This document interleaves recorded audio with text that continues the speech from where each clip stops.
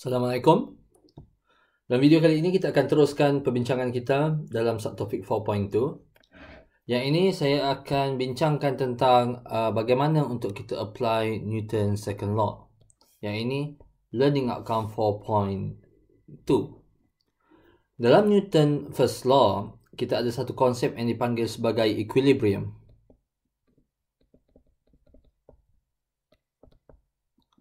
Dan soalan-soalan yang berkaitan dengan equilibrium di dalam physics modul adalah daripada nombor 6 sehingga soalan nombor 10.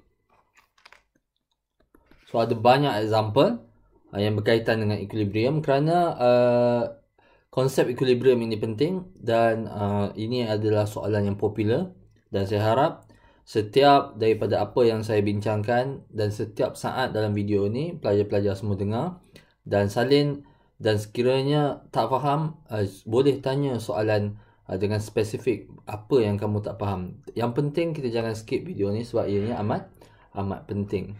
Jadi untuk kita menyelesaikan masalah equilibrium ada empat uh, kaedah.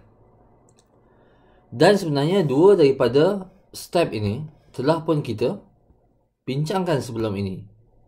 Step yang pertama kita identify forces. Ini learning outcome 4.1A dan step yang kedua adalah kita draw free body diagram. Ini adalah learning outcome 4.1B. Dan pada minggu lepas kita dah bincang tentang free body diagram dan identify forces selama hampir 3 jam apa yang kita nak fokuskan di sini ialah bagaimana untuk kita apply condition for equilibrium. Now, equilibrium bermaksud the net force on the object is zero. Sama ada objek itu bergerak ataupun tidak, sekiranya net force pada objek itu zero, kita boleh kata sum of fx is equal to zero dan sum of fy is equal to zero. So bagaimanakah kita nak apply konsep ini dalam soalan example 6 sehingga example 10? Uh, kita akan tengok dan bincangkan uh, setiap soalan. Okay, so uh, step yang keempat kita akan tengok bagaimana kita selesaikan dalam example 6. Dalam example 6, soalan dia berbunyi Hafiz Daya and Aina find three ropes tied together with a single knot and decide to have three-way tug of war. Okay, so Hafiz, Daya dengan Aina ni petang-petang dia berjalan, berjoging. Tiba-tiba jumpa tiga tali dan tiga tali tu diikat uh, antara satu sama lain dengan satu simpulan. Jadi mereka bertiga ni tak ada kerja bila dah nampak tali terikat, mereka pun nak main tarik tali. Ah, tu cerita dia. So tiga orang pelajar matrikulasi Johor ni nak main tarik tali. Okay. So dikata kat sini yang pertama sekali Aina pulls to the west with 100 Newton. So kita lukiskan vektor Aina. So again kita boleh lukiskan free body diagram. Dan simpulan tali itu kita represent sebagai dot. Okay. So Aina kita boleh labelkan sebagai F1.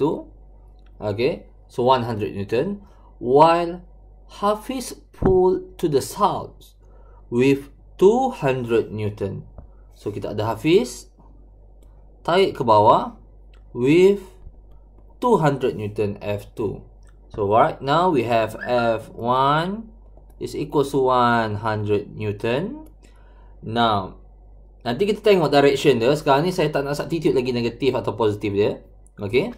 Nanti bila dalam table nanti kita akan substitute positif dan negatif. Okey. Manakala F2 pula sama dengan uh, magnitude dia sama dengan 200 Newton. So itu Hafiz lagi.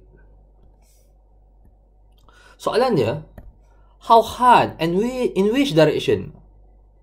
How hard ni merujuk kepada magnitude of force yang daya kena tarik. Okey, berapa kuat dia kena tarik? And in which direction mana arahnya? Sepatutnya daya tarik. Uh, should daya pull. To keep the knot from moving. So perkataan to keep the knot from moving menunjukkan untuk menjadikan simpulan itu tidak bergerak. Ah, okay. So kita nak elakkan simpulan itu bergerak maksudnya sum of f must be equals to 0. Sum of fy is equals to 0, sum of fx is equals to 0. Okay? So we know that sum of f is equals to 0 Newton. Jadi mana arah daya nak tarik supaya tali simpulan ini tidak bergerak. Okey, kalau kita tengok free body diagram yang sedia ada sekarang ni, secara logiknya saya boleh katakan daya perlu tarik ke arah sana. F3 supaya tali ini tak bergerak untuk melawan F1 dan juga F2. Jadi daya kena tarik di antara X dan Y komponen. Ini berdasarkan pengalaman saya lah. Okey, tapi mungkin ada pelajar yang tak mempercayai benda ni ataupun tak nampak. Maka untuk kali ini kita lukis saja F3 terlebih dahulu dan nanti kita akan buktikan dengan calculation. So bagaimana kita nak cari magnitude F3? Itu yang pertama. Dan bagaimana kita nak cari angle theta pasal dia minta di direction. So bagaimana kita nak cari dua benda ni? kaedahnya hampir sama dengan uh, adding vector by component yang telah pun kita belajar dalam uh, topik yang pertama yang ini soalan 12 uh, boleh tengok balik soalan 12 bagaimana kamu add vector by component. Adding vector by component adalah satu kaedah untuk kita tambah tiga vektor. So contohnya kalau kita dah tahu F1, F2, F3 nak cari berapa net force dia, maka kita tambahkan F1, F2, F3 ini secara komponen. Okey, tetapi sekarang ni kita tidak ada F3 dan kita tidak ada theta. Uh, ini berbeza dengan adding vector by component. Yang kita sudah tahu sekarang ni adalah net force sama dengan ko kosong. Kita bukan nak cari uh, total force, tetapi kita dah tahu total force yang kita nak cari adalah force F3 ini berapa. Okey. So masih lagi kita kena selesaikan uh, soalan ini dalam bentuk table. Okey, mungkin lama-lama nanti mungkin pelabari dah cakap, mungkin tak nak lukis table, itu terpulang tapi itu kalau dah cakap. Sepanjang semester 1 ini saya nak semua soalan yang berkaitan dengan chapter 4 kita selesaikan dalam table. So table seperti biasa ada force, ada x component, dan ada Y component.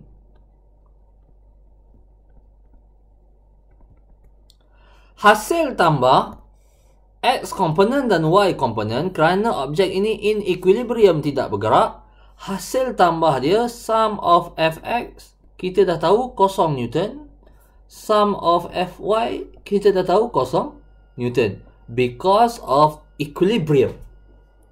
So, apa yang kita nak isi pada bahagian kolom uh, F ini? Kita nak isi F1, F2 dan F3. So, ada F1, F2 dan juga F, F3. Okey.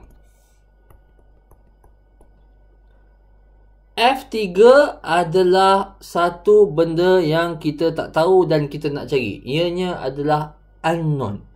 Therefore, F3X unknown kita cuma letakkan simbol F3X berapa value? Tak tahu. Kita nak cari F3Y kita letak F3Y unknown. Sebab kita tidak tahu tetapi simbolnya mesti kita letak dalam table. Bagaimana pula dengan F1? Okey, so sebenarnya soalan ini adalah soalan yang simple kerana F1 sudah berada pada X component dan F2 sudah berada pada Y component. So F1 magnitudenya 100 Newton to the west. Dalam axis ini kita nampak bahawa F1 ke kiri. So kalau ke kiri maka kita kata F1x is equal to negative 100 Newton. Now, since F1 berada pada X component, F1 tidak berada pada Y component ataupun F1 tidak berada di antara X dan Y component, maka kita kata Y component bagi F1 sama dengan 0 Newton. Manakala bagi F2 pula, F2 berada pada Y component, F2 tidak berada pada X component ataupun tidak berada di antara X dan Y component. So, kita boleh kata F2X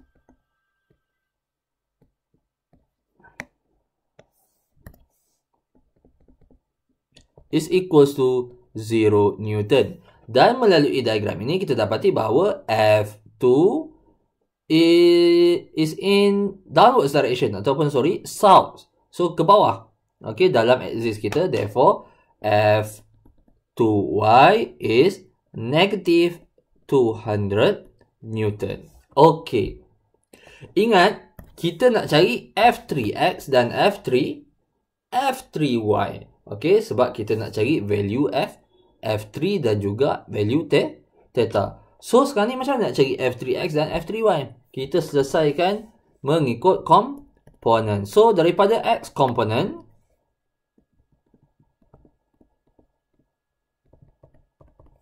saya ada F1X plus F2X plus F3X is equal to 0. So, I have negative 100 plus 0 plus F 3x is equals to 0. Okay. Ini hasil tambahnya. Sum of x.